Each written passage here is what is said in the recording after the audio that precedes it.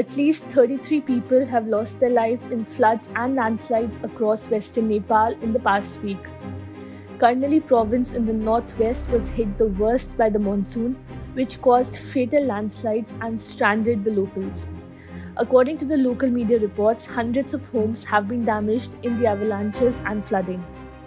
At least 22 people are still missing across the province, and many more have suffered injuries.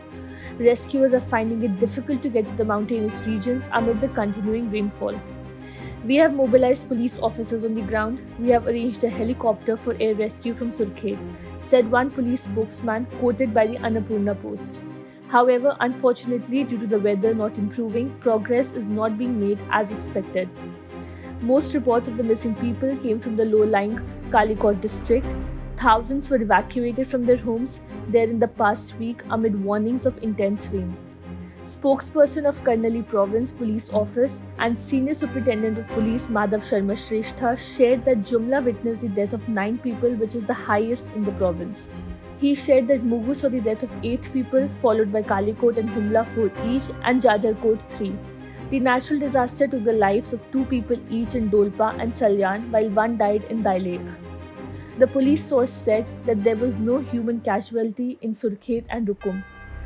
In some areas of the province, the Karnali River had risen to over 12 meter, that is 39 feet, Nepal's emergency authorities said.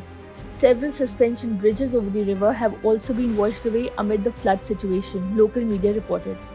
Government officials have dispatched aid to the region on helicopters. Meanwhile, the UN's humanitarian agencies said that they are distributing food and medicine to the worst affected communities in western Nepal. Nepal is nearing the end of its monsoon season, which typically begins in June and ends in October. At least 110 people have died this year in rain related disasters, according to the National Emergency Operations Center.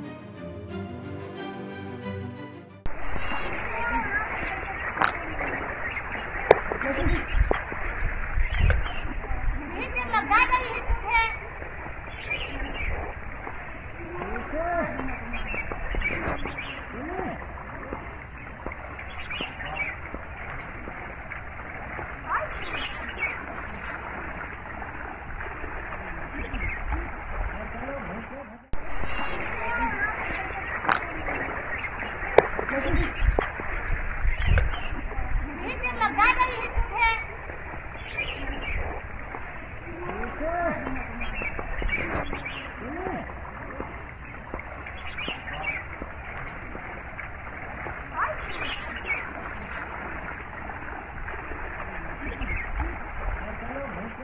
Subscribe to Oneindia channel and never miss an update.